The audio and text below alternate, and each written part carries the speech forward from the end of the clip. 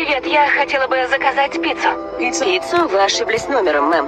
Не думаю. Можно мне с сырной корочкой? Адрес, конечно. Хейворд-стрит, 235, квартира 3F. Мэм, вы в опасности? Вы из-за кого-то не можете говорить свободно?